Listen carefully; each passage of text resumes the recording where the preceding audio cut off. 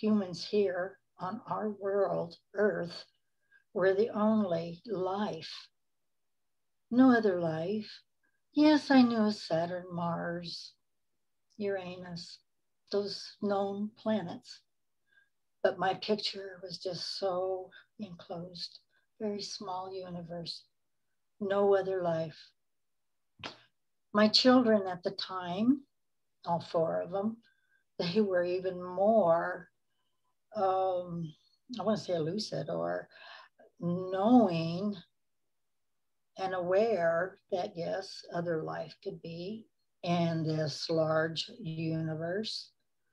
But no, they would sit and watch, you know, like uh, take a Sunday afternoon, there would be some kind of paranormal funny show on TV and they'd all be sitting around watching it. And I would go outside during the summer months, you know, and do my yard work, a lot of flowers, what have you, or go practice my piano or just something like that, other than this stupid belief. Uh, September of 1988. One night, uh, we had a two story house, and where we lived was very close to the Sandia Mountains. You, you know the Sandia oh, Mountains, okay? Yeah, yeah. From yes. the right? With the right, yeah. Right. uh-huh. So um, it was warm yet outdoors, and I would keep the balcony doors open upstairs. And um, we had gone uh, down to visit, well, no, no, no, let me back up. Uh, we had my daughter, my youngest daughter, and I uh, one night we started watching, or there was weird lights, blue, red, greens up at the crest of the mountains. You know, there's radio towers and TV mm-hmm. towers. And one night, uh, this occurred, let's see, maybe three nights in a row. And one night, I believe it was the last night, there was an airplane and it seemed to be chasing some of these lights away we couldn't figure it out, even looking through binoculars, what these lights were. Well, the next night, which was a Sunday night, Sunday or Monday night, it was Labor Day weekend, we had gone down to my folks' home, you know, who lived in the valley. And when we got back, oh, it was about 9 30, 10 o'clock, I sent the kids upstairs, you know, to get ready for bed. I had done laundry. I'm carrying this heavy load of laundry upstairs to put laundry away. Uh, in the master bedroom, the armoire was sitting next to this open door. Well, I opened up the door to the armoire, and what caught my eye through the open door was this unusually bright, very bright white light. So I put down the laundry, go out to the balcony, and I look, and it's in the southeast corner of her home, very close. Okay, during this time, I know you're probably aware of the uh, balloon fiestas that uh, New Mexico, Albuquerque oh, holds each year in October, the 1st of October.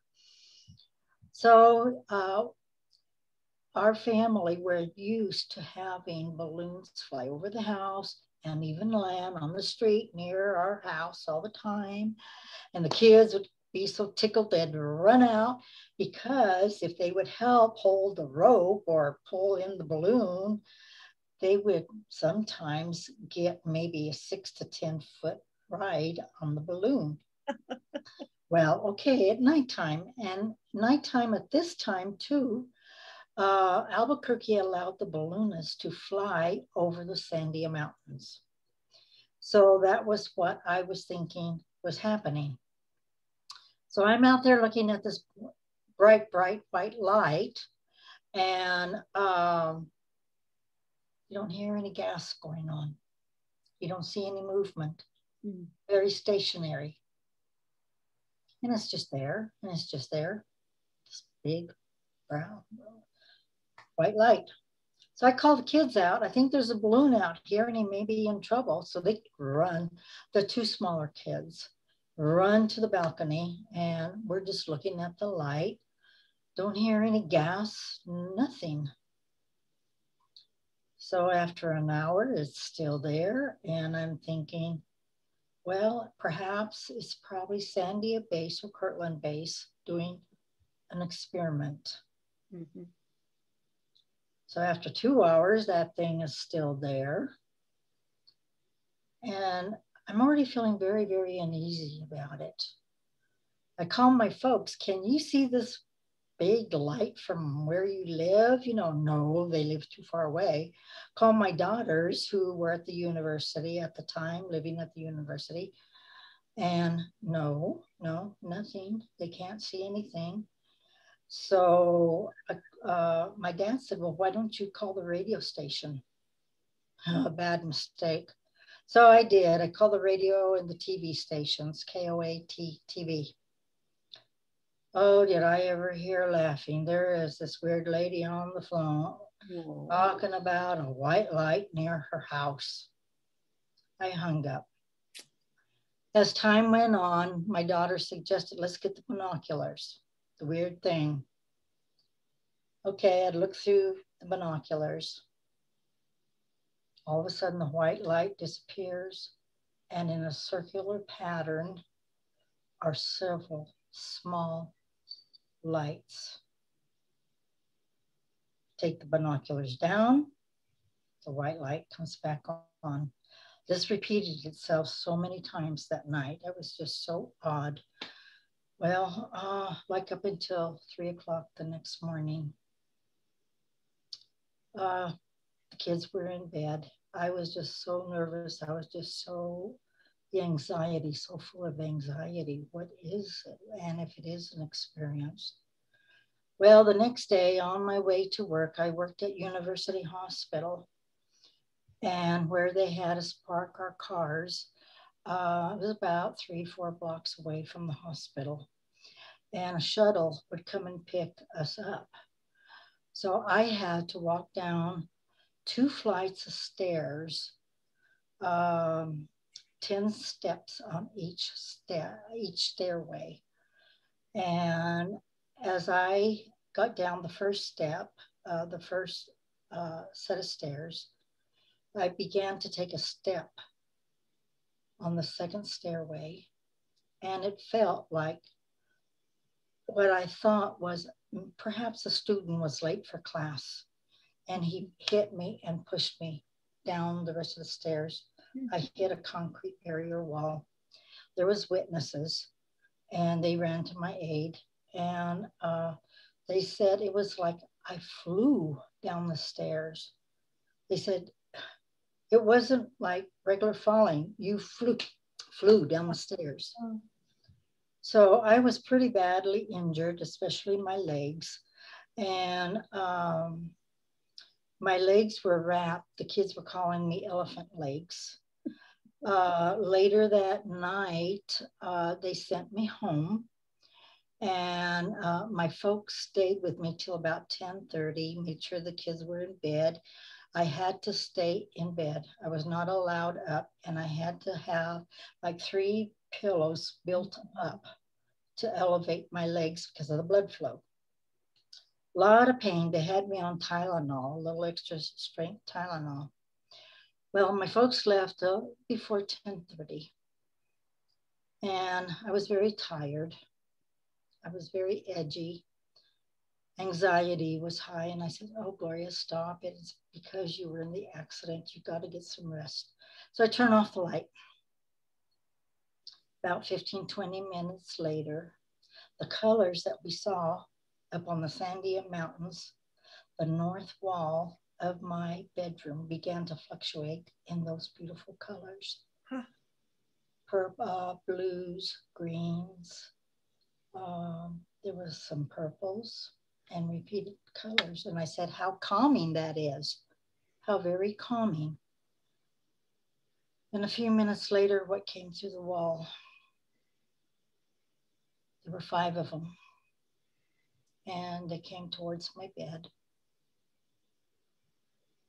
I didn't know what to call them. I was trying to get away. I was, to me, at the time, I was screaming my son was 14 and he was playing football. So he's a big, he was a big 14 year old. Why isn't he coming to my aid? I'm screaming, you know, his name, you know, I'm hollering, and these beans are getting closer and closer. Two came up to my feet, one to my side, one to my head, and the other one stood by the door.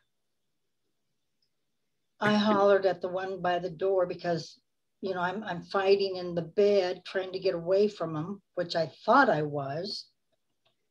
And I'm hollering at him, don't you dare go down the hall and bother my children. In the meantime, the two at the end of the bed, they're unraveling my legs. It was done, and my legs were covered in this brown uh, wrapping, a lot of brown brown wrapping, and um, they also had little black sashels that they brought with them. Hmm. The one by my head was most horrible because I saw only three fingers. And he started rubbing his three fingers, doing stuff in my head and on my forehead. What did they look like? They they had the color of my skin. They had the large pear head, the large almond eyes, slit for a mouth, hardly no nose, no ears. And how tall were they? But they were about maybe four feet, five feet tall. And were they wearing uh, the same uh, thing? What were they wearing? Were they wearing the same thing or? They were all dressed the same, the very same. I called them at the time afterwards, you know, the ungodly creatures. That's yeah. all I knew was ungodly creatures. Did they have any kind of personality? No. Mm-hmm. Nothing. Nothing was said. Really, they just did their job and there was a reason why and what they took from me. But I saw uh, one pulled out this long, uh, was like a vial, like what I compared it to was like a stomach. Uh, it was off white. It was, yeah, just off white. Mm. And what they was, they stuck a needle into both legs and filling this long tube-like apparatus. And the color then changed to like a peach color. Hmm. They took that and that carried myself, my mind, everything was focused on that. I don't know what the man, the man, the ungodly creature, was doing to my stomach area. I don't know. Uh, the one on my head, his hands, I mean, the fingers were so long. And here all the time, I thought I was screaming, screaming, screaming. To me, I heard my screams. Mm-hmm. And I heard myself moving. I felt myself moving, but no, no. So you were paralyzed, do you think? I was paralyzed, but you know, at the time, you, you didn't know. know. Mm-hmm. No, nothing. And then I blacked out. Mm-hmm. Next morning, I was laying uh, cat a corner, cat a catawampus on the bed, and my husband comes in. All the blankets, everything, pillows, everything were on the floor. And what happened, Gloria? What, what, what was going on? Have you been in a lot of pain or what? Mm. And I couldn't tell him, you know, of the hallucination. Huh. I thought I was hallucinating. Yeah, but you just had it extra strength. You only had Tylenol, right? So. Yeah. and from that point on was the very beginning I had thought was my awakening. Uh, from that point on, weekly, I would see orbs, real nice, pretty orbs circling the bedroom wall. And I thought, you know, how soothing. And I guess that would put me to sleep. Hmm. Were they a different color? What color were they? Uh, they were like the light greens. There was some peach color ones and what have you. But let me back up because this is kind of important. My sister had called the next day after this, the ungodly creatures were there.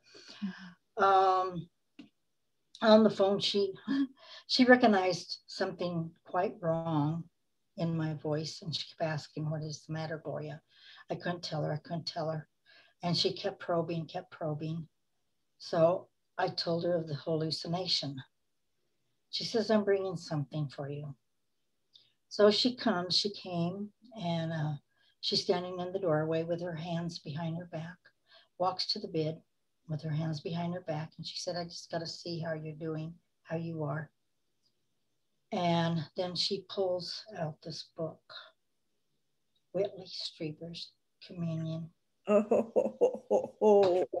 She said, Are these what came to you last night? And I said, Yes. You light up like a Christmas tree, right? Oh, oh my God. Yeah, yeah. From that point on, um, I think I probably had been taken at least three to four times per week. Wow. I would wake up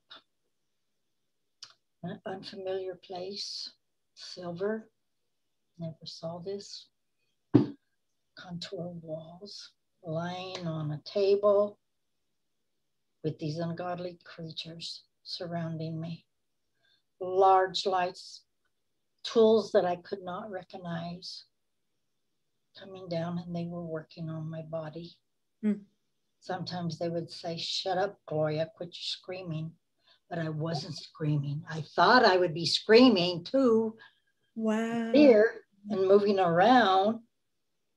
Don't touch me, leave me alone. Right. Where where did I give you my permission for this, right? Right. Yeah. Waking up several many, many, many times one thing would be they would let me have that memory of what transpired on the nights they took me. I became, I thought I was completely insane. Mm-hmm. I became, oh, it was horrific. I didn't want to ever go to bed. I, my husband had a nighttime job as well as his daytime job. So I'm it for the two children. You know, mm-hmm. my girls, they're in school, they're at the university, they can't do anything. And it was horrific. It was a horrible life. How long did this go on for? Over a year. How, how did your how did your legs heal? Did they heal they healed or quickly uh, no no no it took time and what i had to go through uh, in the process uh, to get well it, it, took quite a long time i was laid up maybe for about three months mm-hmm. And yeah but really i had thought you know well i didn't know anything i didn't think anything i was just what are these beans? and my sister and uh, Melissa, they would go to the library, Ruth Montgomery books, more Whitley Strieber books, uh, Bud Hopkins books. Oh, so many books, you know, and I had time to read. He said, This is all a lie. It's all a lie. It's not true. It's mm-hmm. not true. I'm just insane. And of course, it continued on and on and on. And throughout the years, um, I had been able to meet other human beings on board ship, mm-hmm. uh, families. One particular family, uh, even the mom and the grandpa and grandma were there, oh. with mom and dad, and a little girl. The little girl was probably about four or five. And on one experience together with them, the little girl, she was very hungry. So she was crying. She didn't like where she was at. She wanted to go home. I want to eat. So one of the beings, I'm still calling them ungodly creatures mm-hmm. For a lack of knowing. And they brought her out. I think I, I believe I put the drawing in uh, Morning Glory. Uh, it was a roundish bowl, and it, the substance was like very sticky uh, oatmeal. Mm. So her mom was trying to feed her that, and it had like oh, it, it was very sticky. Just you know, um, that family we were able to talk a little bit, but uh, about maybe 10 years later, because we had seen them periodically, um, I was in a Hallmark shop, and lo and behold, here comes the lady with her mother. Huh. And uh, I didn't recognize them right away. They just walked in the door to where I was standing, and the young lady just looked, Gloria. Huh. I, said, I didn't recognize her. And they walk over to me and they said, Don't you recognize us? Huh. I said, No. And then all of a sudden it came to me on board ship. Yeah. Um, so that's a relief, isn't it, in a way that it is in a way. In your 3D reality now, it's like, you know, you can't run from that or anything. It's like now you have the second phase of that to deal with, right? Yeah. Well, with all this going on, all the many abductions, all, you know, you come home and in my bedroom, in our bedroom, I had this green chair that I would sit in. How in the world did I get all these bruises? And especially around your private areas and lower thighs and what have you. Needle marks. Yep. On my uh, left hand, on the ring finger, I had constant, a triangle. Mm. Little did I know when I was cleaning the bathroom mirror, my daughter, the youngest one, comes in and she just happened to pick up her left hand at the same time. And here she has the same triangle. Wow. I started seeing my daughter on board ship too. Mm. We shared so many, many experiences together. I felt um, nearing Christmas of the of the first year or the second year, I think it was. I, I've got, you know, with some of the books that I read, I had remembered in Ruth Montgomery's book, uh, Mr. David Paladin name was listed, and he wrote some sections in there in her book. So I looked in the phone book, and sure enough, I found a David Paladin. I wrote him a letter thinking he'll have compassion. He, he might contact me. Well, the end of December, his wife sent me a postcard. David had just passed away. Oh. She said, I think I may know enough because of what he used to tell me and talk about so much. She had her phone number, so I called. Her name was Linda. I called her and we met. She was helpful. And she said, Gloria, you're ungodly creatures. They're extraterrestrials. They come from, oh, she started naming off some various different planets, and they're called grays. Oh, for she stuck around. I mean, she was helping us for maybe about six months, and then we kind of separated. It was a problem. Uh, in the meantime, David, uh, let's see, uh, Michael Lindemann was going to be at the uh, Indian Culture Center mm-hmm. giving a workshop. So Linda took us there. But by the time we got there, which we thought we were getting there early, oh my God, the line was completely around the building. Huh. So we went in and bought a couple of his videos, went home and started viewing his videos. I looked at those videos and I looked at them and I looked at them, in at different times, trying to say, Gloria, you're not insane, but you are insane yet. It didn't help. Mm-hmm. Well, and you kept this secret to yourself. You didn't talk to your children about it or anyone oh, else about it my children knew about it because evidently with the anxiety with everything i changed. And anything was setting me off. Anger okay which was um it was not me it was not me. My husband i finally opened up to him at some point. And he at the time liked to play the devil's advocate. Mm. so I had a very dear friend who's, thank God she's still here for me today. I just opened up to her. My brother who was a pastor for Nazarene Church, had even told me, I mean, he was calling me constantly, How are you doing, Gloria? I mean, he was such a great support, and my sister as well. Good. He knew more and were more aware to this phenomena that I was. And you'd never believe it. Well, anyway, Mr. Michael Lindemann came back to the university to give another workshop. And Fred, my husband, said, uh, We're going to go. And I said, Yes, I want to go. So that night we got very good seats, like in the second row. Mr. Lindemann, before uh, he gives his talks or anything, he'll go out into the audience and talk to the people. Oh, well, he passed by our row so many times, and I kept urging Fred, please call him over, please call him over. I've got to talk to him.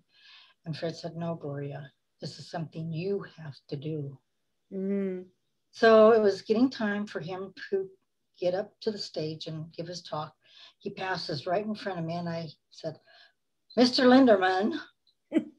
and I, I, I suddenly just sat quietly. He knew who called him. He looked directly right at me. So he comes over and I told him, I said, You're going to be talking about something that I have been bothered over the last two years, it was one or two years at the time. And I said, I need help. I need direction. I said, If I finish tonight at 10 o'clock, I want you in the back and we're going to talk. But if uh, it extends to like 11 o'clock, he pulls out his card. He says, Monday morning at nine o'clock, you call this number okay. and we will talk. Very cool. Very nice man. And I had a horrible weekend. It was horrible, just in anticipation of the phone call.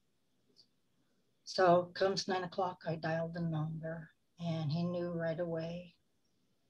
He said, Gloria, and I said, yes. And we talked for about an hour. And he says, Do you know Mr. Bud Hopkins?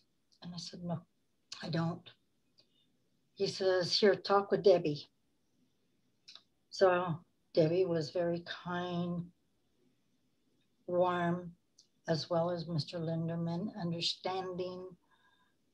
Uh, I was so grateful. Yeah. So grateful for them. Uh, Mr. Lindemann gets back on the phone and he says, I've talked with Mr. Hopkins. He's waiting for you to call him now. You call me after you talk with Mr. Hopkins. So he gave me the number and I called Mr. Bud Hopkins and shaking in my boots as I call it because it seems like, you know, your nerves are just going 100 miles an hour and they're going to think I'm crazy. They're going to think I'm so insane. We applaud your courage. yeah. so I did. And no, Mr. Hopkins, so very warm, understanding, knowledgeable. Uh, we stayed on the phone probably two hours. Mm. And he says, uh, we're not done yet. I'm going to be contacting you. And if you happen to have another abduction, you call me right back. Mm.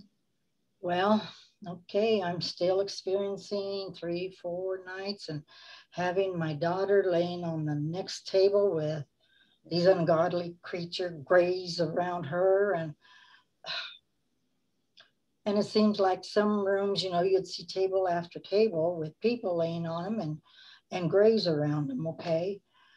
Uh, over time, because of Mr. Hopkins and Mr. Lindemann, uh, Mr. Hopkins, uh, he wanted me to go to New York spend two weeks so he could work with me, guide me through hypnotherapy.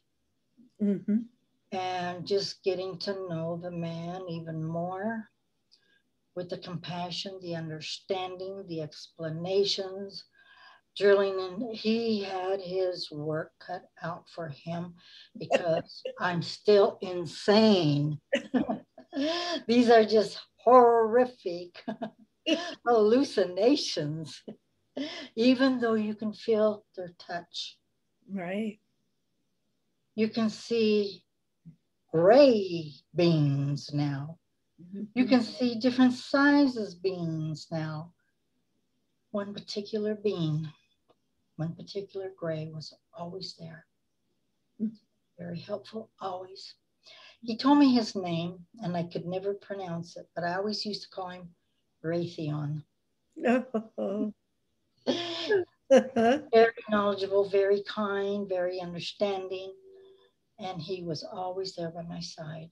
Mm.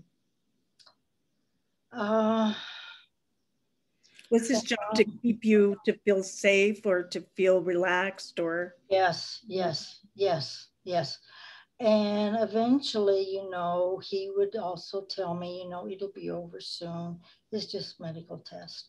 But mm-hmm. then when I started seeing, I, I would feel pregnant. But how could I get pregnant? Because I had a hysterectomy. Mm-hmm. And I couldn't understand that. But yet they're working down there and right. pulling out little babies. Right. On a man's hand, small babies mm-hmm. the size of a man's hand, they would bring those little babies to me. They want those babies to suckle on you. Hmm. The first time I wanted to just, let that that thing go. Of course. Kind of looked human, kind of looked a little bit like me, but it looked like them too. Mm-hmm. But then the motherly instinct takes over and you don't want that. You don't want that little baby to go when they come to get it. Huh. Went through many of those, and uh, as time went on, uh, met other human beings. One particular young lady, she chose to be with them. She was probably about 25 years old. Hmm. And they wanted me to meet her her name was Priscilla. Mm. And they took me to this large room. The walls are still silver, okay. And up above, there was like a cutout where one of the grays was watching us for some reason, I guess documenting or trying to see what emotions. I didn't know at the time what he was looking for. An observer for sure. In, yeah she walks in and she introduces herself and she said, I am also from Albuquerque. And we we talked. And that's when I found out that, you know, for some reason uh, she was ill. And evidently they had promised that they were going to heal her. So, um, so anyway, uh, she, in her pocket, she brought it because she knew she was going to be meeting me. Oh. She very secretly pulls out of her pocket this little cameo. It was an old cameo given to her by her grandma. And she told me where she lived, where her folks live.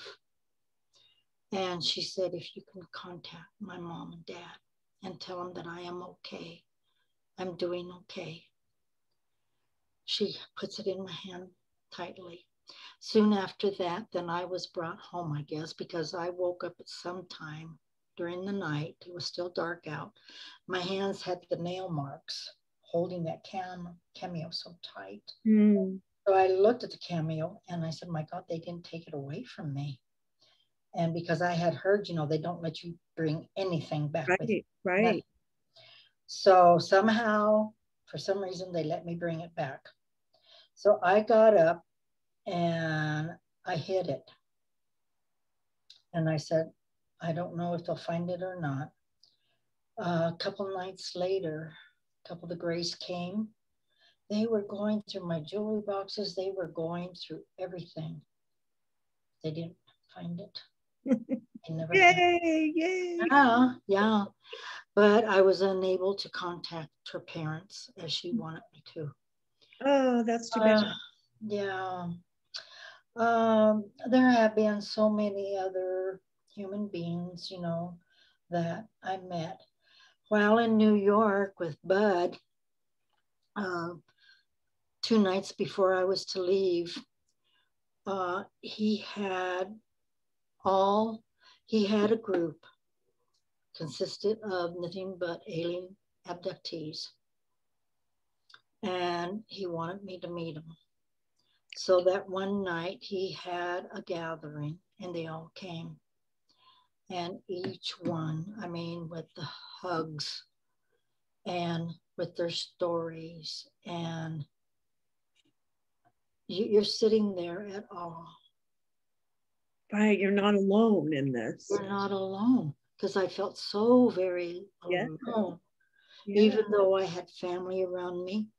Oh, I, even where I worked, I mean, nobody, nobody else would know. That was my life secret. Mhm. And just my best friend who kept this life secret with me as well. And uh, since that, you know, um, Budd's assistant, Christine, uh, who I stayed with, yes, she followed up with me and my daughter with every abduction. Hmm. And she would explain what was going on. And yes, it was for real. And Bud, at the time, there were two ladies here, Becky and uh, let's see, I forget the other, Carol, Carolyn, um, who were researchers here in Albuquerque. Uh, he got in touch with them and had them come over to the house and we talked. They were always there for me.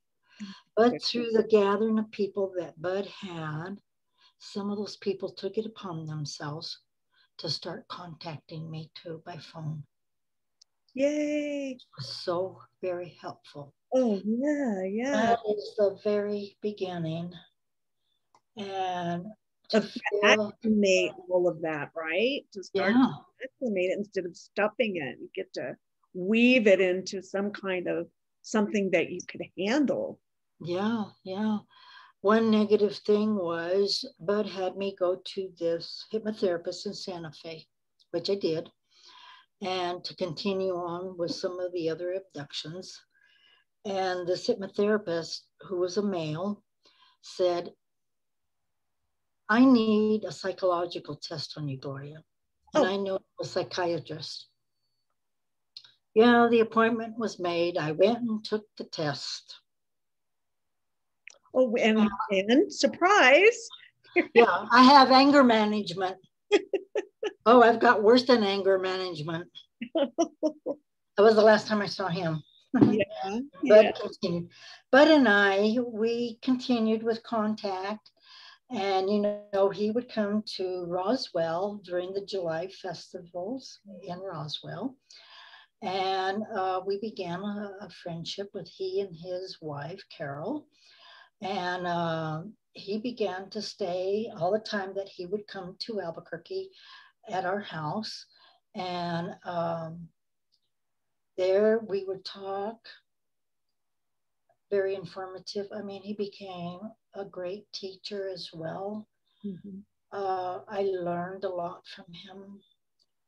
Uh, very kind, very compassionate.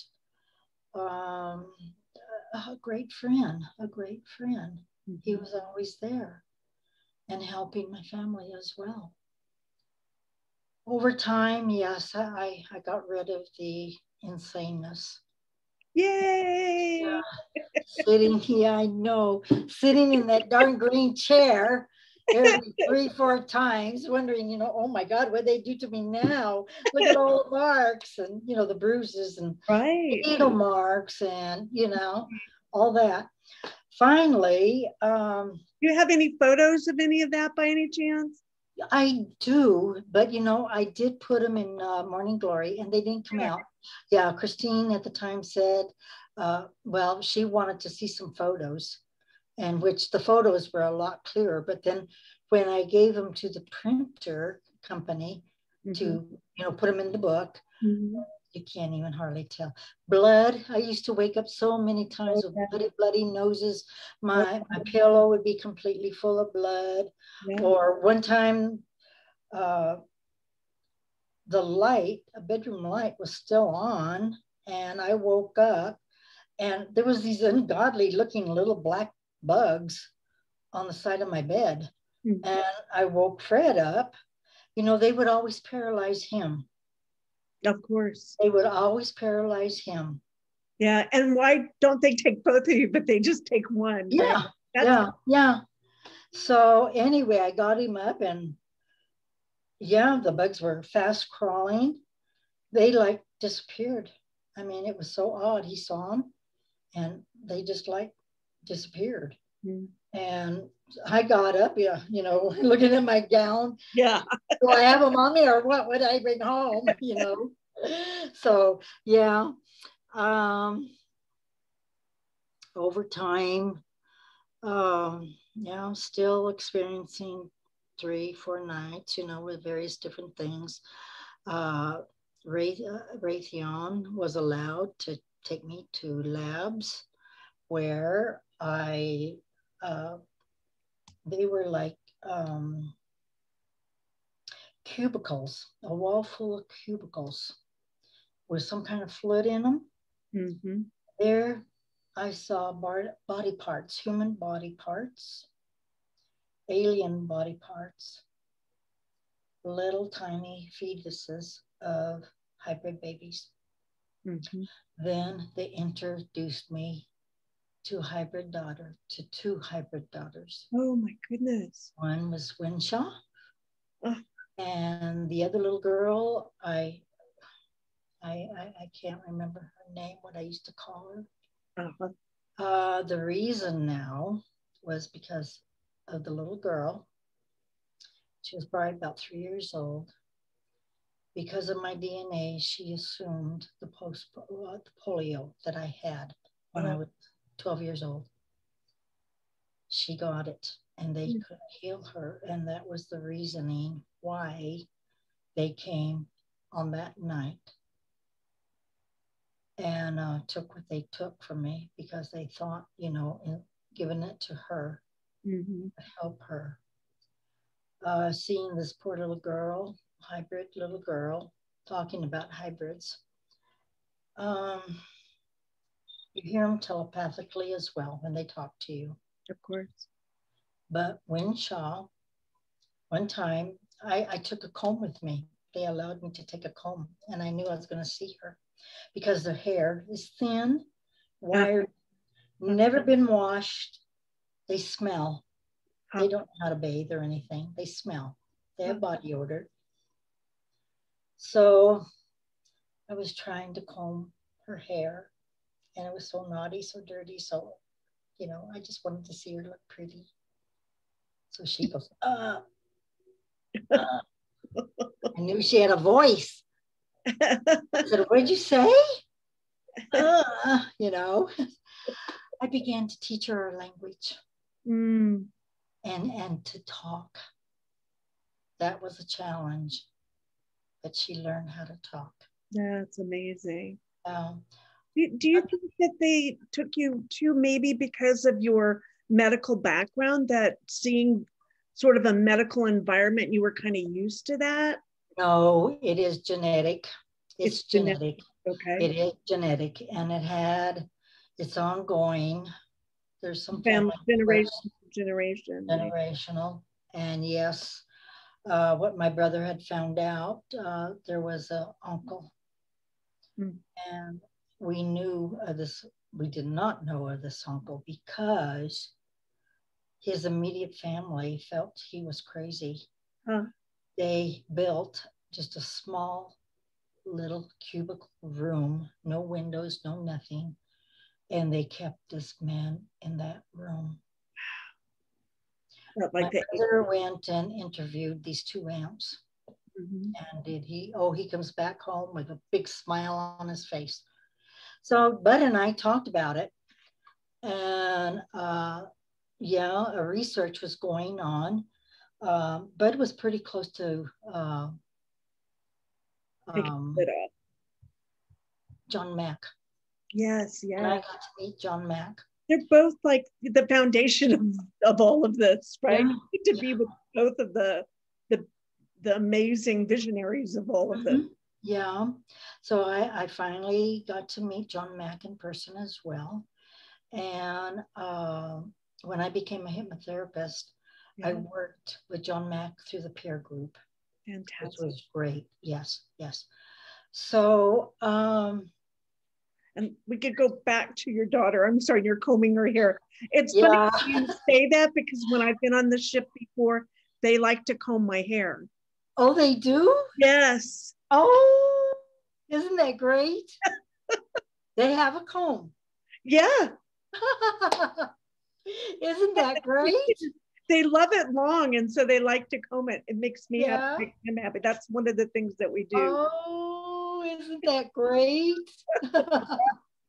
well, the little one, my little hybrid daughter, one experience was when they took me up, Raytheon, Raytheon was always there for me.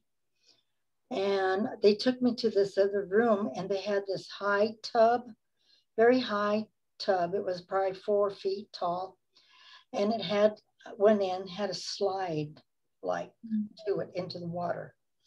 I put my hand in the water and it wasn't water. And it was like very oily. It was it was weird feeling. Like jello-y?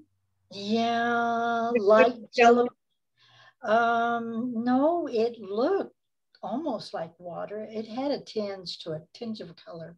Mm-hmm. well, they brought my little girl in, put her on the slide. She saw me. She, oh, she had a voice too. she started screaming. She was screaming, screaming. Two of the grays, you know, had her by her under her arms, and they wanted to put her in the solution. And they did eventually put her in the solution, but she was, oh, I, I cried. I cried. And then they pulled her back out. And I believe that was the last time I saw her because the next time they took me, um, they told me she passed. Mm. Yeah. And then when Winshaw is the one that told me that mm. she passed. Hmm. Yeah. yeah. Um, well, when we were about to go on a break, okay, take a break in just a few minutes, and we'll be uh, that breaks like six or seven minutes till after four minutes after the hour, okay. and so um, I mean, I could just listen to you forever. I mean, this is thank you so much for sharing, and it's so personal, right? It's like a such a personal experience, and to, it takes courage to even now to to share it with everybody. We really, really appreciate it. It's a lot easier now. It's a lot easier. I think after you tell it a hundred times, right? That's yes, right. First time I told my story, I threw up. Okay, so I couldn't oh, go. And then oh, I was crying. yes, yes, yeah, yes, yes. Yeah. So after about a thousand times, you got it down pretty good. You know, right? Yeah. But let's can you show our audience your books i, I really yes. want to to really read your books and and the details of this is the first book mm-hmm. morning glory diary of an alien abductee and that was written in 2005 uh 2001 oh 2001 okay yes yeah it was published in 2001 okay yes, and it's available on amazon.com amazon yes uh-huh mm-hmm. yes um for me, uh, Barnes and Noble, uh, any bookstore. Okay. My understanding is now with the book, I'll take care of that later. Uh, any bookstore, if you ask for the books now, they used to be on bookshelves. Okay. But uh, my understanding is now they've taken a lot of the books, uh, paranormal books off their shelves, and you have to ask, you have to request it. Oh, a lot of people are getting it now. Yes. Yeah. And this is the second morning glory. Yeah, that one's uh, ever after. The story continues. Yeah, that one's just gorgeous. And that was published when? Uh, to 2015. 2015. Yes, yes. And, and why did you use the subject morning glory on the for the covers? Ever since I can remember, everybody used to call me, Hi, Morning Glory. Huh. That's lovely. And when I, I never thought I'd be an author to tell my story without so many people were on me. Gloria, you have got so much to say. And then I figured if it can help at least one abductee right to read what I have gone through, if it can help just one, mm-hmm. then it will be worth my story getting out like this. Yep. And thank you. And we'll be right back after this break, everybody. And um, don't go anywhere. I won't. Anybody. Uh, you can't go and go and I need some water. Something and come back. Will this hurt if I put my my phone so it doesn't ring? Yeah, it'd be great if it didn't ring. Yeah. Can I just go ahead and turn it on? Busy signal? Yeah, that'd be fine. Okay, it won't hurt the program. Mm -mm. But you, st we're still live, so. Yeah. Okay.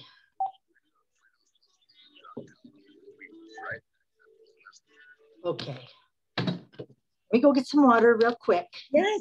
Yeah, I'll talk about the other aliens or extraterrestrials I met, but I'm being too wordy. I always get too wordy. You're doing beautifully, beautifully. Oh, am I? Okay. Okay, thank you. Be right back. My kitty was trying to get in too.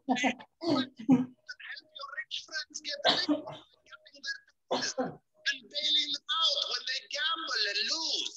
You could ignore the needs of the poor for healthcare and education. Your media would appear free, but would secretly be controlled by one person and his family. You could wiretap phones. You could torture foreign prisoners. You could have rigged elections. You could lie about why you go to war. You could fill your prisons with one particular racial group, and no one would complain. You could use the media to scare the people into supporting policies that are against their interests. Tune in Monday through Friday, 4 p.m. Eastern Time for Liberation Nation with Deacon John, where America comes to hear the truth. I know this is hard for you Americans to imagine, but please try.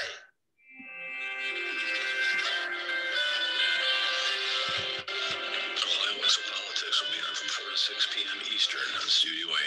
Mark Steiner will have guests on that will discuss many important topics, including the state of the world today. However, much of the show will be dedicated to the writings of Edward Elmer Meyer.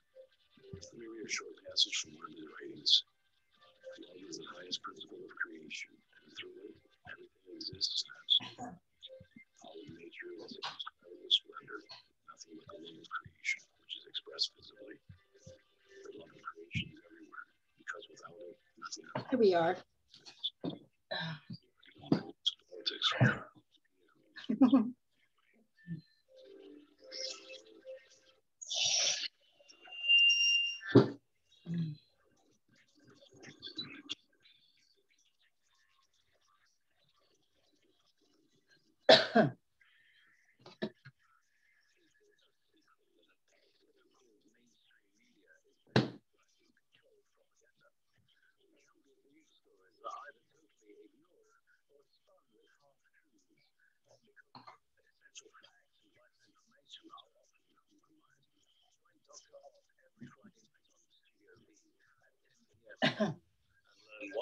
the story behind the story was nominated for a Peabody Award in its second year of producing unparalleled broadcasting excellence in 1997. That is, if you really care about learning the truth.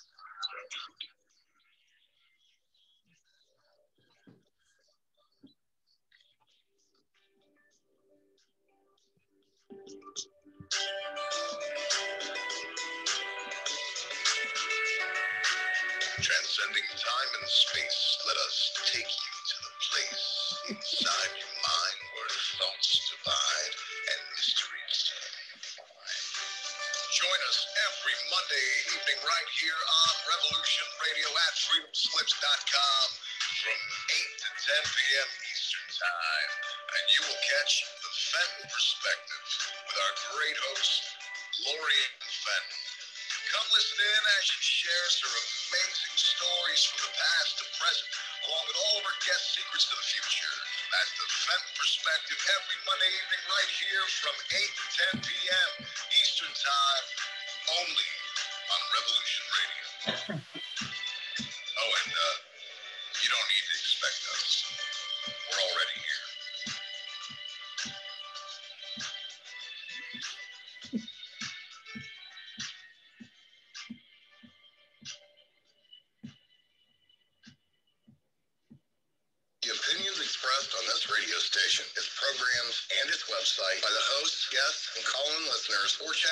solely the opinions of the original source who expressed them. They do not necessarily represent the opinions of Revolution Radio and FreedomSlips.com, its staff or affiliates. You're listening to Revolution Radio, FreedomSlips.com, 100% listeners-supported radio, and now we return.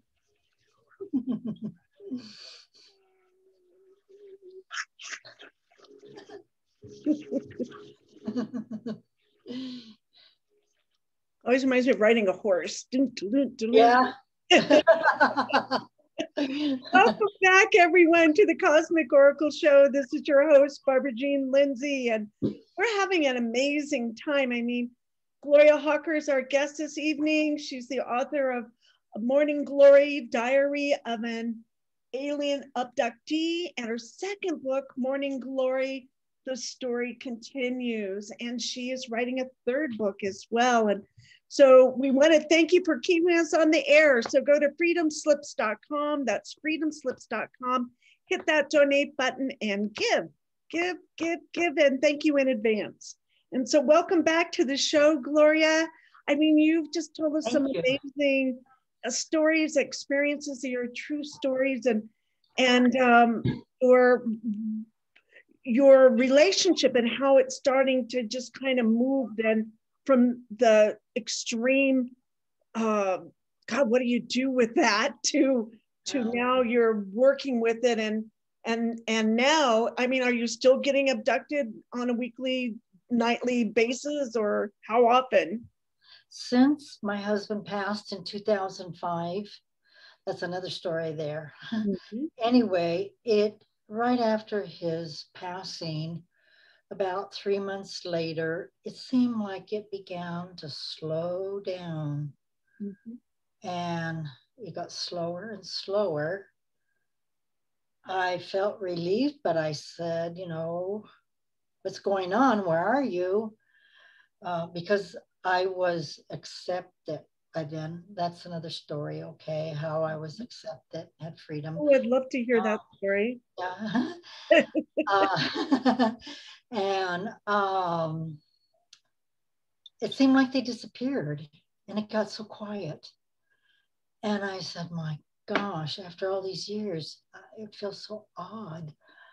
Uh, the reality the quietness nothing happening at night or during the day with them, uh, getting and adjusting to mm-hmm. normal life was so hard for me mm-hmm. to finally relax in bed. Right, have an out breath, right? You get yeah. to like an out breath. And, and, and to get sleep, decent sleep. And you wake up, did I go anywhere? Sometimes I would wake up. Yeah, they had me last night. I remember something. Sure enough, needle marks or bruises. Mm-hmm. No memory.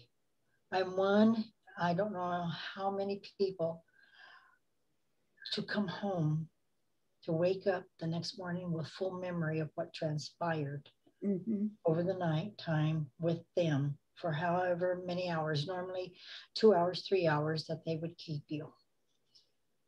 And to wake up, you know, with no memory, but yet something is telling you, yes, you were taken last night. But that was a rarity now. Um, one night, I, yeah, with the memory that they did allow me to have, I'm sure you've heard of the Pontes. Oh yes, yeah. Who reside in the Sandia Mountains. Yeah, we've had um, Reverend Otter and Sue. Yes. The show, yeah. Yes, yes, yes. Well, I had to contact her right away because I didn't know where I was at, and she's uh, amazing. Uh, They're both amazing. Yes, yes, they are. They are, and uh, that experience with with the Pontes um, I was inside this huge cavern, and evidently they got me there one night in a ship, a small ship, because I remember getting out of the small ship, and there were several other small ships, and the place where they kept the ships was huge. And walking with, I called them grays. You know, I didn't know they they were grays to me. Mm-hmm, mm-hmm. And later I learned, you know, through Sue Pontice, okay. And walking me down this long, long, dark hallway, there was light coming from someplace, like the light in the ship. You know, you don't see, you don't see ceiling lights, you don't see lamps or anything like that. Filtered, like a layered filter of yeah, light. Yeah, and it comes out like from the sides. Mm-hmm. I mean, it's lit. The whole area is lit, but you don't know where the light comes from. Right, exactly. And the same there uh, in the Sandias. Well, when I met this uh, male uh, Ponte, uh, he was very friendly. He told me that he was a hybrid son of mine. but Sue says no but I don't know. Uh, the second time I saw him, he still says, you know, he was a hybrid son. He looks more of a Ponte of a gray. They look like grays. Mm-hmm. Okay? Mm-hmm. They resemble the grays, but they, you have to call them Pontes. Um, yeah, we talked for quite a long time, very friendly, and other Pontees would walk by. There was one particular uh, lady Pontee. They're about the same size of, same size as the grays mm-hmm. and different sizes. Okay. Um, I don't remember seeing any humans there. Uh, anyway, uh, he told me his name was Yart. Mm. And he says, I want to show you what, what kind of work I do here. So he walks me into this other section and there was tables and the, on these tables, they were like six foot long tables, but they were just long, long tables, okay? there were rocks, different colored of rust with veins of uh, beige or off-white through the rocks. There were different rocks. And he said these rocks are mined here, even on the Sandias or all the way down south, Alamogordo, White Sands, they ships bring them in. Uh, he did not tell me how it was processed or he didn't even show me how they convert these rocks, these special rocks, into fuel mm-hmm. for all these small ships. Wow. And that's his job. Wow. Plus, what Sue Walker had told me that he likes to go out of the cavern. You want to say cavern uh, because it's huge. It's huge in there. And he loves butterflies. Oh. Well, when I called her, the first time I called her, uh, I was telling her about it, and she said, she's an artist, you know. Mm-hmm. She does her drawings. And she says, I am doing a drawing of one Ponte right now, and I don't know who he is.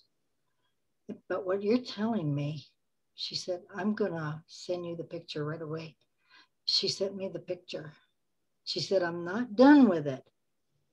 But oh my gosh, what really got to me were the big brown eyes. He's uh-huh. got brown eyes uh-huh. and small lips. And I said, That's Yart. That's my hybrid son. And she said, I'm not done with him. And um, when she finished painting the picture, she put a butterfly on his nose. Oh, that's adorable. Butterflies. He loves butterflies. um, I haven't, uh, like I said, probably just twice I have been with him physically. But uh, it was last October. It was still very warm here in Albuquerque. And I keep my balcony door open upstairs, okay, at night. I was reading a book this one night. Something said, put the book down and look out through the screen door. Mm-hmm. I did. We are in the pathway of airlines from 1030 on uh, that will come not directly over the house, mm-hmm. you know, Delta, Southwest Airlines, what have you. So I'm kind of used to that. Well, okay. I'm sitting there, okay. Out of the east comes this strange object because it had like four very bright lights in a circular pattern and it stops, dead stop. I said, that can't be an airplane. I mean, that is so weird. Then all of a sudden it drops, maybe 100 feet. It drops. I mean, it was very close to my house. Mm-hmm. And I said, Oh my God, that airplane's going to crash. So I jumped up and I went outside. Where it stopped, he kind of went sideways to the west and then back up 100 feet. And I'm in my mid, I have a very long balcony. Mm-hmm. By the time I got to the edge of the balcony and I saw him, it's quick. I mean, in seconds, just seconds. And I heard, I said, Hey, come back. I want to come and see you. Come and get me.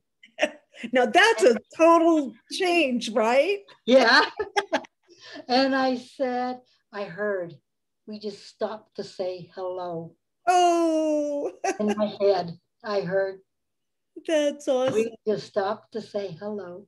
Oh. Last week, it was a Saturday night, southeast of my home. I sometimes would call these ships diamonds in the sky because sometimes, you know, when they flash their lights, mm-hmm. it looks so pretty like a diamond. Right, okay. right. Yeah, they were there again. And I called my friend who lives east of me, uh, about maybe five miles east of me. And I asked her, go outside if you want to see if you can see it. No, she couldn't see it. But they stayed there for about an hour. Huh.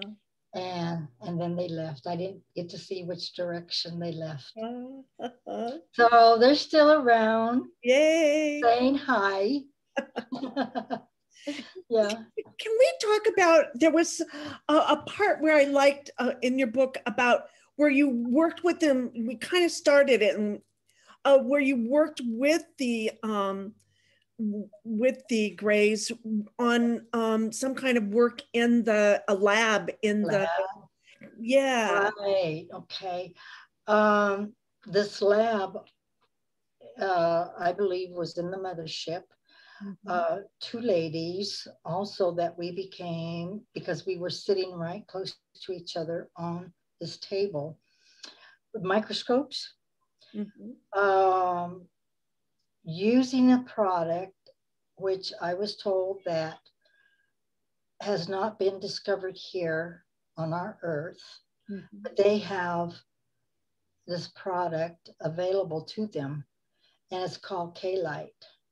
Mm-hmm. And um, it comes very, very deep, they said, within our earth. And maybe one day it'll be discovered, but that's what they use. Mm-hmm. Anyway, this product can be turned into uh, biowarfare mm. or used for medical purposes. Uh, medical purposes like pandemic. Mm. Okay, now self doubt. They have this product, and which I worked with under a microscope that we were given in the little cups, you know, to work with. Um, and I was told medical to cure cancer, to cure disease, viruses. Come on, guys. Look what we're going through right now. Mm-hmm. Is it the truth? I don't believe you now because you're not doing anything to help us. Mm-hmm. We worked and worked with this product and um, at times you know the suits that the astronauts wear? Mm-hmm. we were dressed in white suits completely. They were white. Working with human beings. Mm. the scientists. Some that i recognized. Mm. okay? There was astronauts there as well. Well anyway we would be dressed in these suits and I can still hear like the fan, you know, oxygen, air mm. in the head part of it.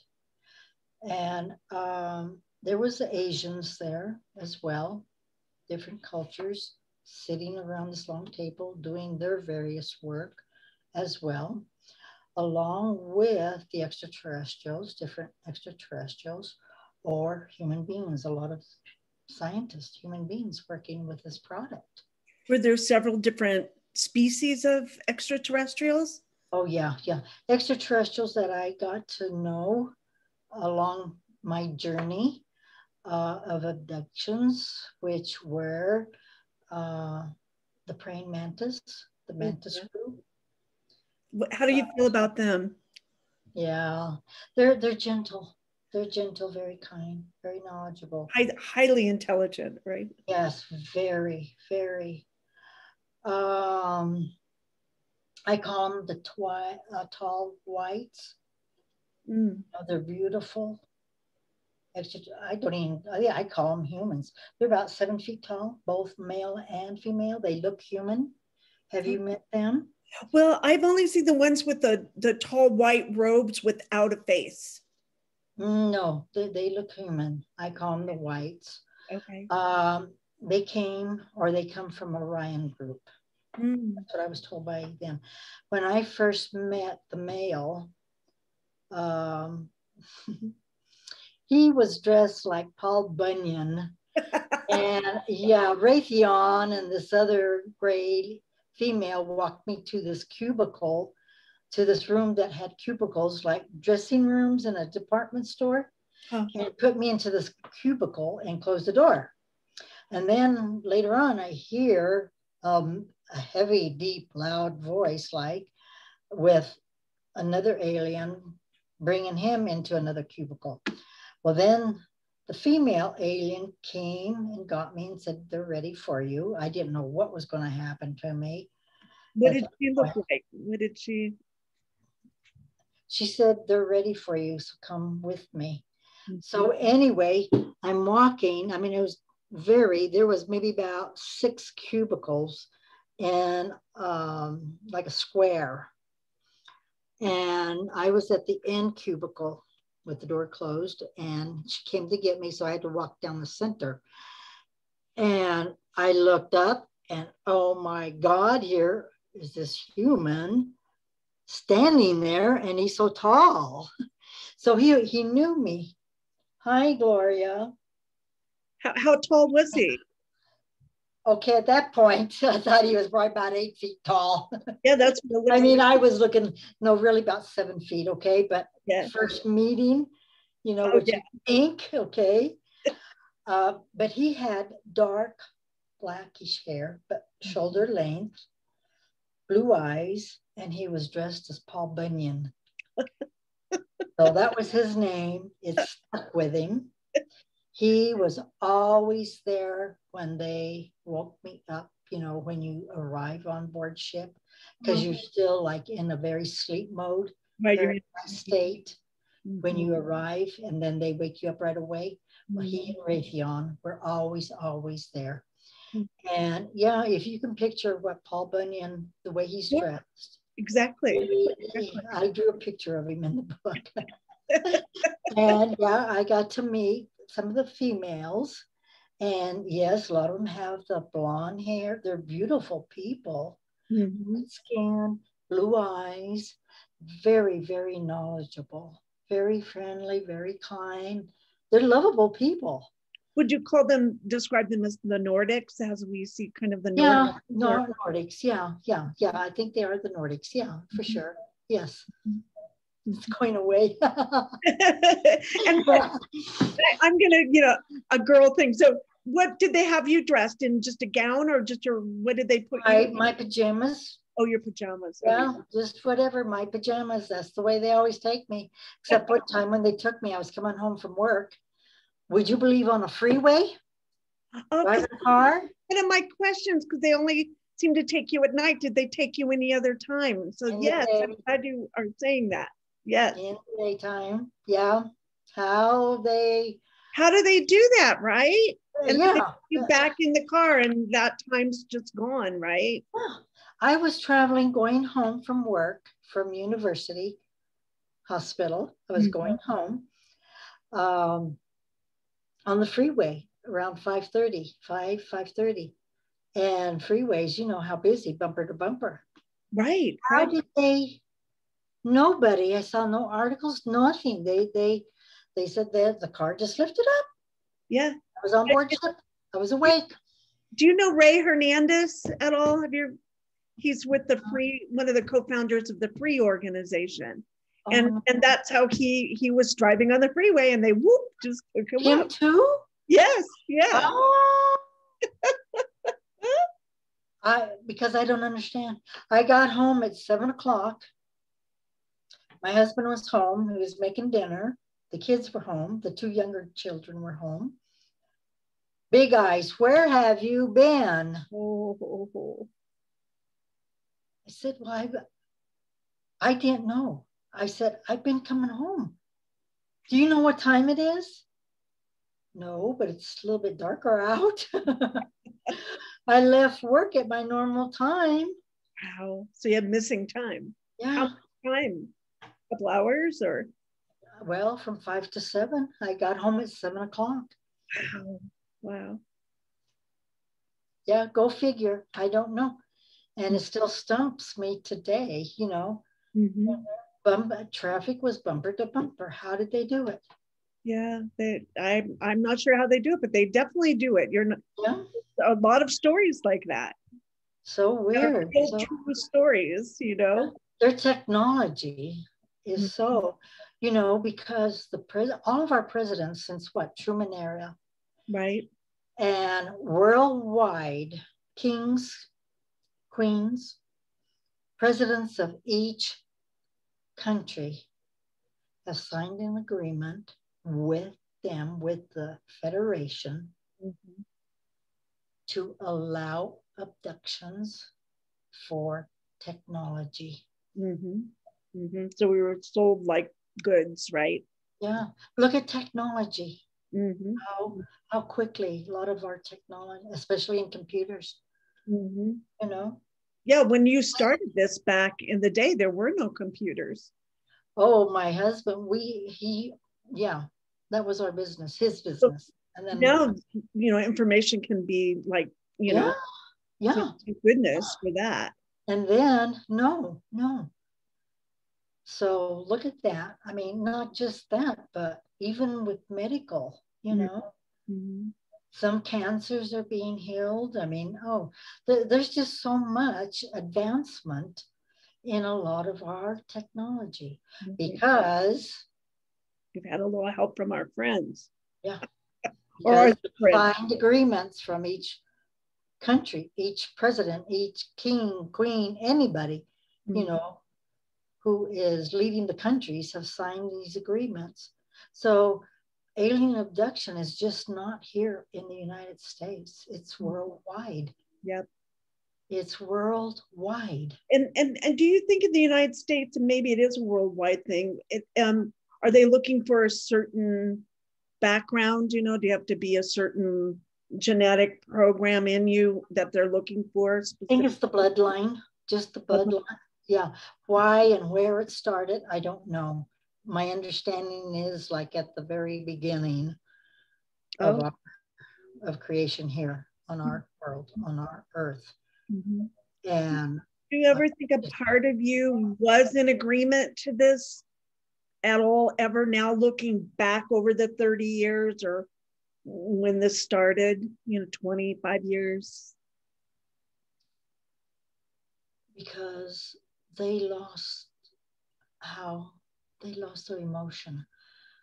What Raytheon told me, the world, the planet, he and his generation came from, they got too smart for the riches and blew up the world. Mm-hmm. And before that happened, only a few were able to escape. Plus, I don't know how true this is now okay, Mars. And I've heard a lot, been told by a lot of researchers, you know, a lot of them landed in March. in, mm-hmm. in Mars mm-hmm. and uh, Saturn, and they were underground. Uh, therefore, they lost. They used to have some kind of emotions. They used to have togetherness. They used to have, they want what we have, what we seem to have. And what is it that we have that they're after? Emotions, yeah. love, togetherness. But look at our world today. Look we need that. We need that now here as well. We yeah. need it off planet and on planet right now. Yeah. So you think you're part of that work maybe? Of telling that story, right? Or yeah but with their hybrids and with each so-called, well, each mother of a hybrid, yes, they're allowed to go up and yeah, be with their hybrid. Do you think the future is that they're going to be able to come off the ship and be just be walk among us? Or are they walking among us now already? Some, some like the Nordics are already here. Mm-hmm which I can testify. Um, I have a very dear friend who lived in Colorado. And oh my gosh, her story is truly amazing. He's a hybrid. Hmm. And he had them, he's trying to live as a human being. Even though he's a little bit taller, he invited her and her husband over to his house. He had a very small house. When they walked in, no furniture, just some weird objects. Oh, her story was very amazing, what she told me. One day I was driving down one of the main streets there in Central Avenue. Mm-hmm. We had a van, Ford van, you know, they sit quite tall. Right. Two of them crossing the street and they're looking at me. Mm-hmm. Yes, there's supposed to be some here already. Uh, yes, they, what I had been told when I was being abducted, you know, those many nights, and when they finally when the infamous gray doctor and I came to a medium, life changed for me on board ship. Mm-hmm. And he re- he treated me as a human being with respect. Right. You developed trust, it looks like. Yeah. Some trust. I mean, we were nothing but lab rats to him. Mm-hmm. And you felt like a lab rat after so many times. Right. Nothing but a lab rat. But then when he in this, I used to call him the doctor, the mean doctor. Mm-hmm. Was no respect, no no regard for human life for us. But until we came to that medium, which had to do with God. Mm. Okay, higher power. That's when life changed for me on board ship. Oh. And I had freedom. That's when I began learning. When they would teach me about bio warfare, bio, the medical. But again, I wake up, it's daytime, daytime, and nighttime, mostly nighttime. I, Angelina, and Grace and I along with familiar faces from onboard ship, are sitting in a gray block building, which is highly guarded with men in camouflage, inside with heavy machine guns, outside with heavy machine guns. Our teachers had brown. I, I think it's I used to think it was Air Force uniforms because that's the color my husband used to wear when we were Air Force. Mm-hmm. with the white lab jackets, very strict, very controlling. And I was accused one time of talking. They don't want you to talk. You're mm-hmm. paid for it. Someone in your family or you will die or something bad will happen. If you talk? And and this is during a my this is a MILAB story, right? Different yes. than and and I don't want to stop because I want to hear the rest of this story, but I also can you tell our listeners what the difference is with a MILAB? What's a MILAB abductee? Okay, MILABs, you are abducted by high profile governments, mm-hmm. your own government. Again, uh, abductees come from all over the world and are abducted by military personnel or high profile within their governments mm-hmm. to learn what you know because you're working with them up in the labs. Right. What do you know? Give us the secret, give us the the information. Again, more shots, mistreatment. That is the reasoning for the cinder block mm. building and why I was accused of talking, which I was not. I had not been talking. They gave me a shot in my tongue, which. Your tongue? Yes, and my oh, tongue swelled so high I thought I had cotton in my mouth. There was blood coming out. I went into, they took me to the bathroom. The bathroom, oh, it was filthy, old bathroom. The mirror was so clouded it was old. You couldn't even hardly see. But I wanted to see what was happening. Where's the blood coming from? And I could barely see. And I saw my mouth had to open because the tongue swelled so bad. And then uh, they broke the door because I, I thought I was going to be able to escape, escape mm-hmm. where, because I don't, we really think we were on Kirtland Air Force Base mm-hmm. really because of the directions, because of where, you know. Mm-hmm. Um, they broke, one of the guards broke the, the door in. They grabbed me and threw me back into my chair. And um, the head teacher there said, take her to unit something, something, you know, it's just, it's pretty close by. Get her into the Jeep and have Angelina and Grace go with her too. Get them out of here. And yeah, the, the men in camouflage with the machine guns walked us to this Jeep. And poor Grace, you know, they made her get in because they're trying to hold me up because I, I became very, very weak. Mm-hmm. And I really thought I was going to die. And, um, well, anyway, they made Grace get in first. So she's over here pulling me up, and Angelina is helping me up and then the guard just came and just get up there, you know. So it was Grace, and then I was in the middle, and then Angelina on the side, and they I passed out. They they took us someplace to give me an antidote, hmm. and then I woke up at home in your bed. And how was your tongue?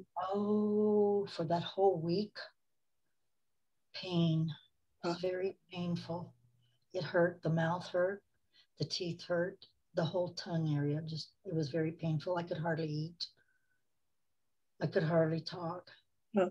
It's bad. So uh, other military, yeah, I identified my high profile military um, people. And in the book, I drew pictures of them and I said Mrs. A, Mrs. C, or whatever, okay? excuse me. And um, at that point in time, you would know who they were.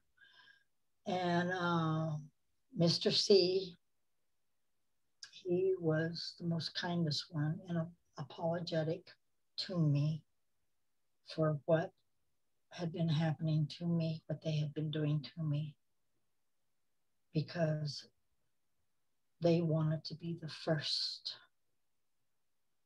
They want to be first in the world.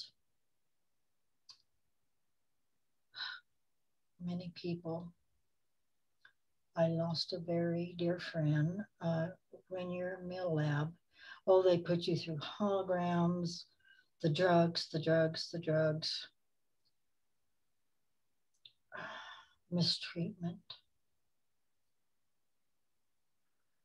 The hurt, try to shatter you, right? To kind of compartmentalize you. Is that the?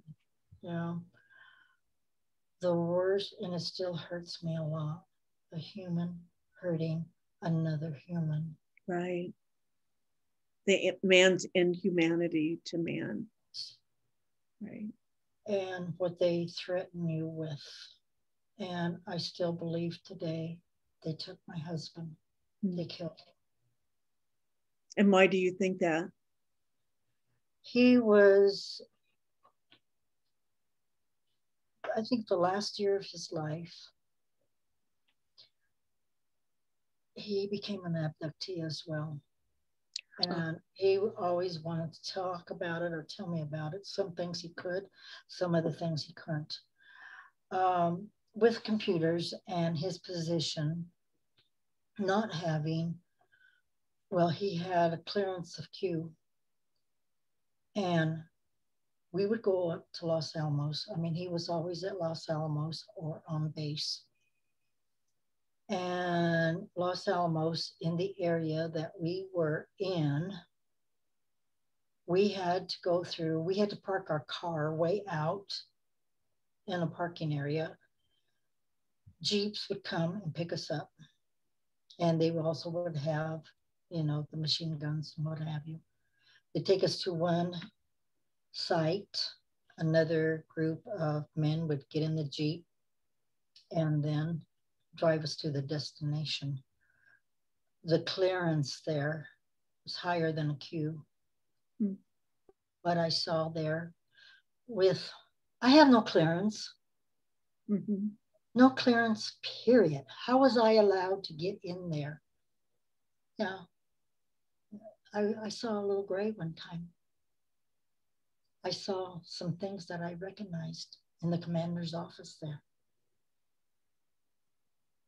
How was I allowed in this high clearance? And just because we sold computers to them, and because of the people I saw there, and what they were saying, and what these people do, how was I allowed? Maybe you have a, another clearance that we don't know of, right? well, I should have. I think so. I, I should much time on the ship. You've earned their respect. Maybe you get like a get out of jail free card. It's kind of like that, you know. Right. Yeah. Yeah. You I don't know, you know. Mm. But there I was weekly, sometimes twice a week in that same area. And the people that I got to meet, and it was very astounding. Huh. One time the president was there. They had a separate room. They were having a meeting. Mm-hmm. Hi. yeah. Very, yeah. And um, that that part still sometimes I still wonder if I see a strange car parked in front of my house now yet today. Mm-hmm. Chills go through me. Right. You know, and, and that's that's warranted, right? It's yeah. like a PTSD, and yeah. it, it is still it's still there because um, it's out of your control, apparently, right? Yeah, you can't right. control any of this. Yeah, but nobody has bothered me. Nobody. Mm-hmm. So ever since the passing of my husband and the way, you know, even with the extraterrestrials, all of them, it just seems, you know, like each month, each week, mm-hmm. more quieter and more. And it got to the point, I miss Raytheon. I miss my infamous doctor. I miss seeing, you know, the people I affiliated with up there. Right, right. You know? Well, yeah. you spend so much of your time there. It's yeah. it becomes a more of a reality than this reality right. sometimes, right? That's true. Very true. Yes. Yes.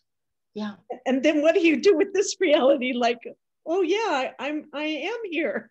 yeah, I'm here and it's quiet. Oh my gosh, I get to see my grandkids in peace. Well, that, I can have them over. My kids are coming over more now. You know. I know. I always say I came back because of my three kids at the time. Yeah. That's the only reason I came back. Is that the only reason you came back? Yeah, it was for well, my three children at the time. It was last year. Uh, this other good friend, he and his wife, um, he is, uh, he meditates a lot, but there's another word that he does in communication, okay? And Raytheon, for some reason, well, knew about Gabriel and contacted Gabriel while he was in meditation. Oh, I love that. And uh, Raytheon introduced himself to Gabriel and told him about me and what have you. Gabriel and Sheila knew my knows my story. Okay. Uh huh. So um, anyway, uh, Raytheon said that he has heard me talk about why haven't they come to get me anymore. Mm. And that he's heard me say that I really miss him. And I really want to see Winshaw. Well, he told Gabriel, we cannot legally, he didn't use uh, legally, let's see, what was the word? I've got it typed out. Gabriel typed it out for me. Uh, I can't remember the word.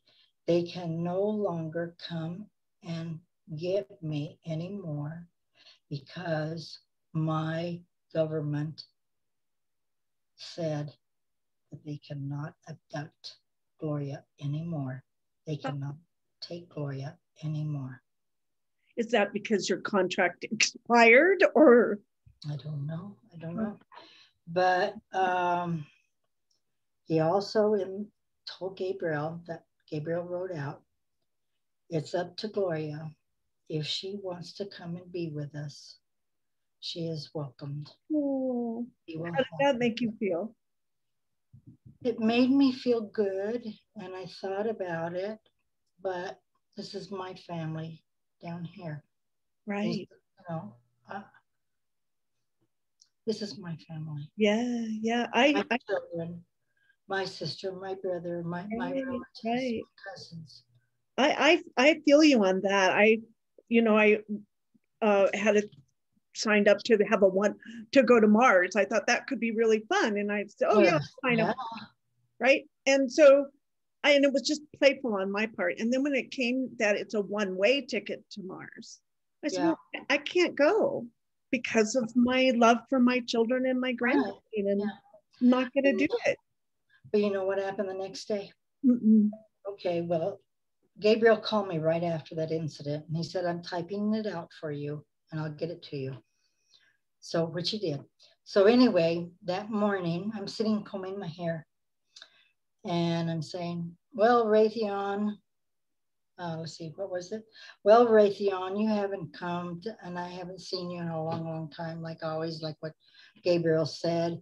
And yes, you're around somehow to hear me.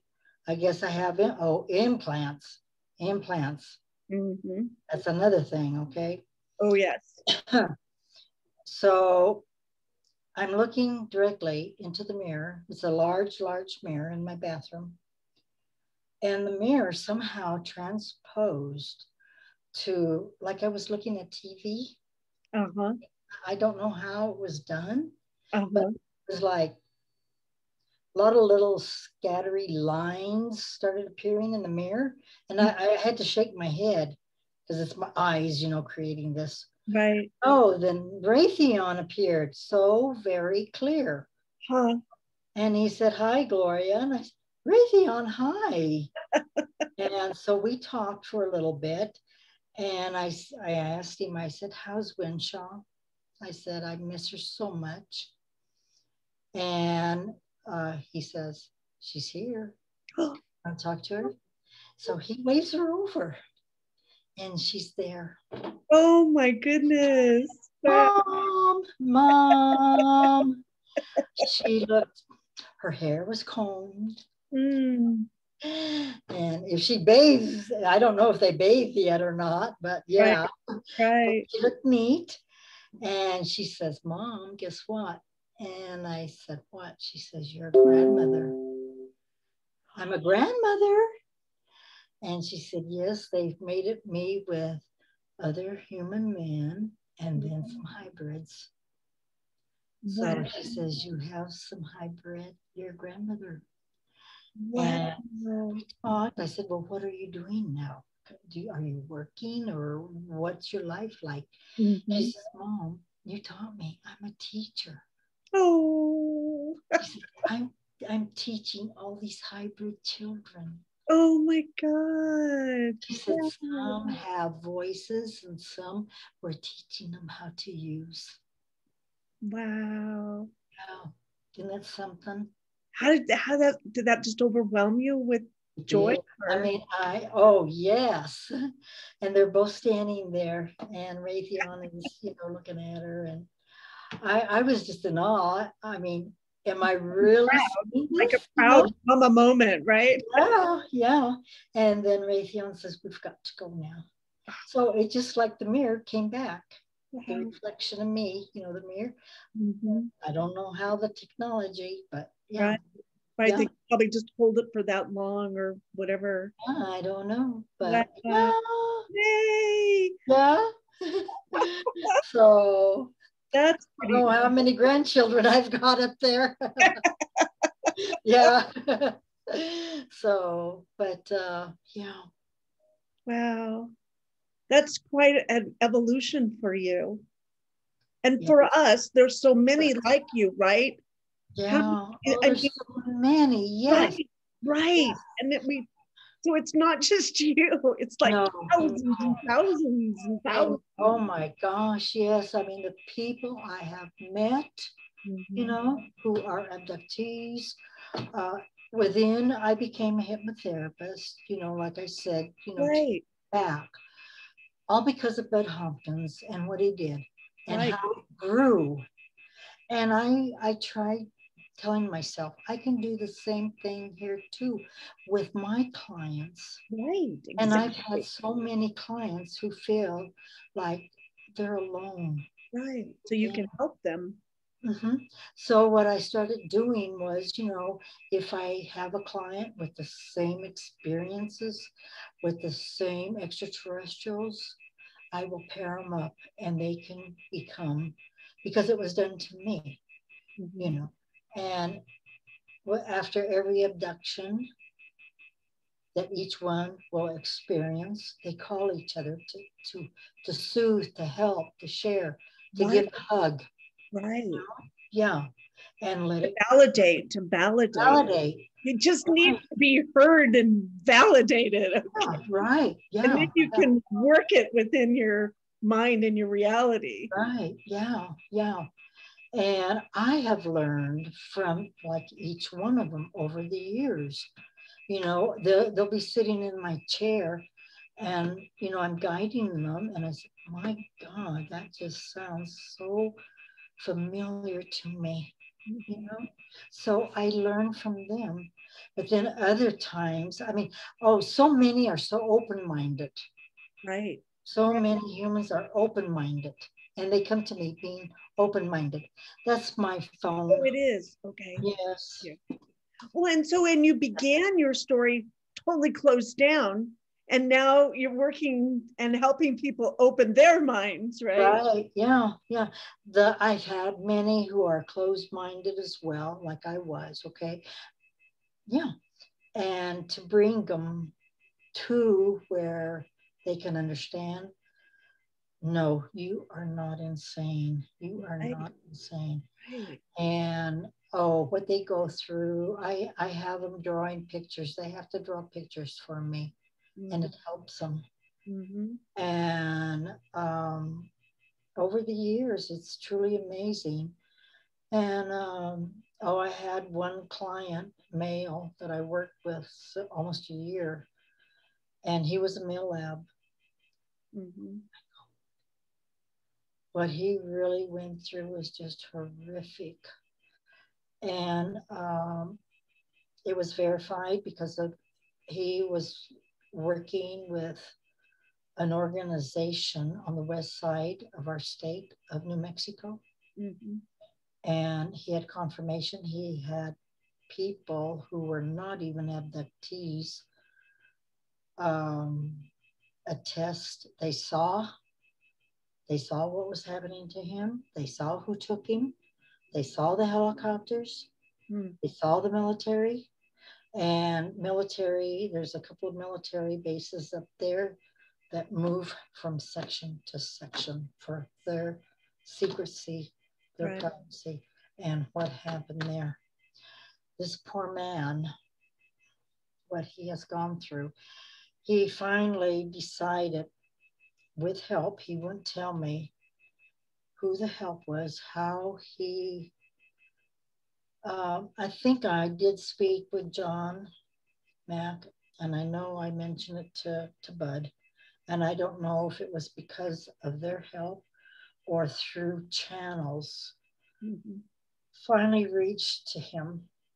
He said, I can't tell you, Gloria, on his last visit. He came and he's said, I'm, I'm telling you goodbye. And I, I'm just telling you, I'm going back east. That's all I can tell you.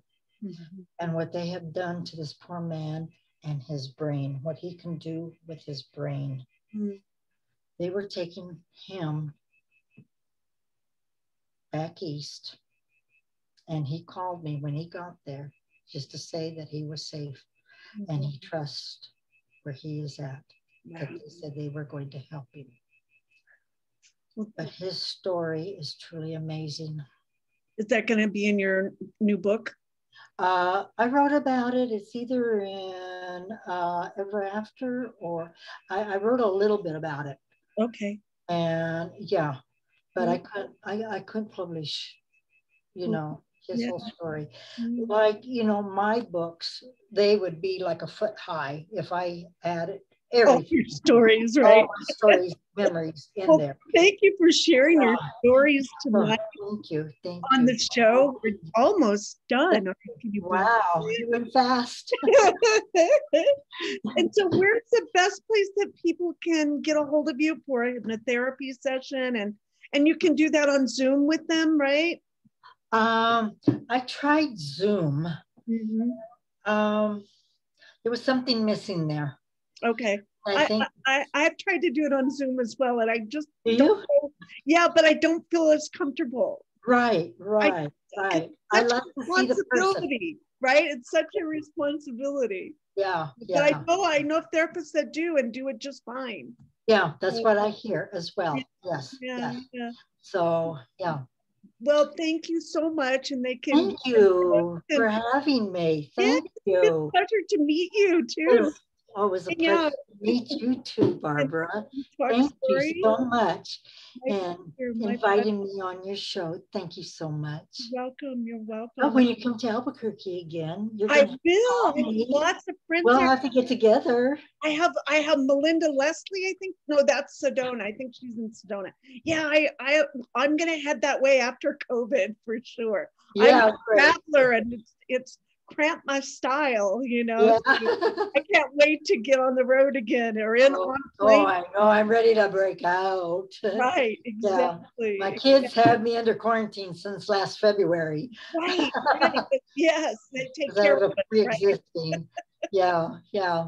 Well, thank you again for being. Thank you for allowing me to share. Thank and you. Thank you for and reaching that one person. Yes, yes, okay. yes. Thank you. And, and they can reach you also on Facebook or email or what? Um, I'd rather email. Okay, so that is the mom, D, yeah, D mm-hmm. as in dad, mm-hmm. A mm-hmm. M O M mm-hmm. one five one six five at AOL dot com. Okay. All right, everybody. Thank you for Thank you. tuning in. We'll see you next week where we have Brad Olson and have a, a glorious week in the name of Gloria Hawker and her wonderful work. Thank Thanks, you. everybody. Thank you. See you next Thank week. You. Bye. Much love. Much love.